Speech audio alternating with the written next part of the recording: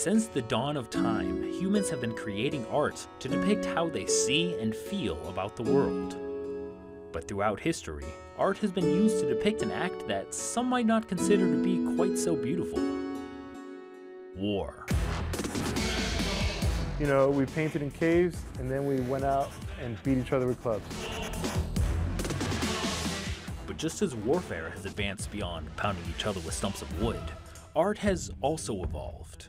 Photographers are on the front line with the newest technologies to bring the American public into the war zone a place known very well by Air Force Staff Sergeant Ed Drew, a combat search and rescue helicopter gunner who recently returned from a deployment to Afghanistan, and an artist who doesn't always use the newest technologies. The thing about Staff Sergeant Drew's photos is that they aren't like any you've probably seen from this war, or any war in the last 150 years, really. I thought like, okay, well I want to do this project on, on the guys who I work with, and I think the best way to show their humanity, to show the beauty of a human is through tintypes. I never heard of it being done in a war since the Civil War. This would be a great project. Tintype is a method of photography popular during the Civil War, where instead of being printed on paper, the image is processed on a metal surface. To do tintype, the photographer takes a metal plate covered with an emulsion called collodion and dips it in silver nitrate. He then has to slide it behind the camera and take the picture before the plate dries, which could prove kind of difficult in certain climates. 0% humidity in Afghanistan translates to my emulsion was drying as I was pouring it onto the plate. A lot of people think, uh, oh yeah, you know, you're using Civil War. No, I was not using a Civil, this wasn't a period piece. This is about making tintypes.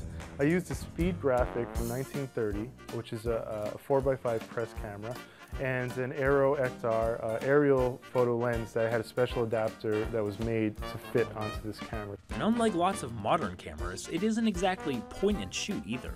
The subject is required to sit completely still for several seconds in order to get the proper exposure. Most of them were six second exposures, so you're having to stay perfectly still for six seconds with dust blowing in your face and everything, and, and that was, for them it was hard. This is uh, one of the pilots he's like, oh, dude, can you can you do this pose like Black Hawk Down? And I'm like, yeah, sure. In, in tintypes, it's a negative. It's never a positive. So um, he was actually looking this way, but it flipped it. And, and that's why, you know, if you look at Black Hawk Down, the guy's looking the opposite direction. Well, you know, in real life, and I kept on forgetting that. After taking the picture, Staff Sergeant Drew would run the plate to a makeshift darkroom, which was basically a pelican case with a blackout curtain draped over top. He had to wash the emulsion off the plate and then fix the image. But elements found in ordinary bottled water would have an adverse reaction to chemicals on the plate. I would distill seven bottles of water every morning for the next day's photos. This is my pilot. Disclaimer is his flag is on wrong. And that's because we came back from a mission and he threw his patches on in a rush. And so many uh, military people are like, oh, his flag's on wrong. And blah, blah, blah. And it's like, you know, I wasn't doing this for the Air Force. I was kind of focused on like getting the process correct and not, uh, not, I mean, there's a million steps and it takes 40 minutes. And the last thing I'm thinking about is the flag on right. So unfortunately, um, this kind of fell on the wayside, but it's a brilliant image. But why go through so much trouble just to take a photo? In an age where digital cameras and smartphones can be found anywhere and everywhere, what really inspired Sergeant Drew to create this art? My son is born and suddenly I am scared of dying.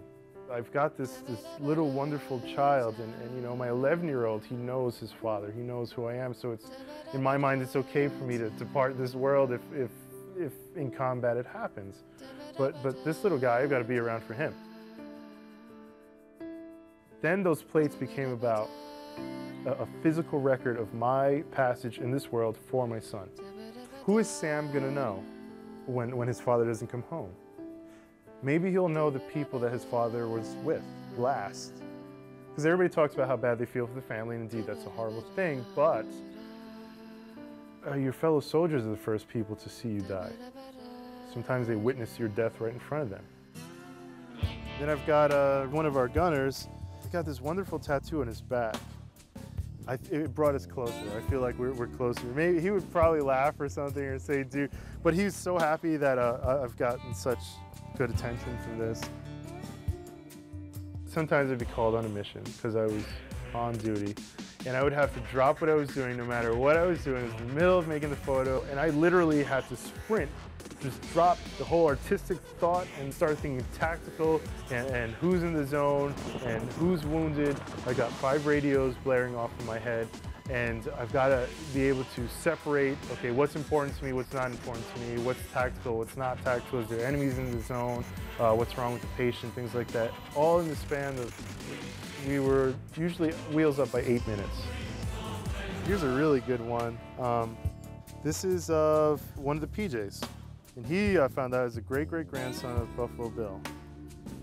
So um, this is a photo very similar to Buffalo Bill. I love this photo. This is a this is a, this is one of my favorite portraits actually. Stationed at Moffett Airfield, California, Staff Sergeant Drew continues to serve in the California Air National Guard as an aerial gunner on HH-60 Pavehawk helicopters while attending the San Francisco Art Institute full-time. He has received critical acclaim with a series of tintype photos from Afghanistan and is now being represented by the Robert Koch Gallery in San Francisco. Reporting for the Air Force Broadcasting Service, I'm Staff Sergeant Michael Brady.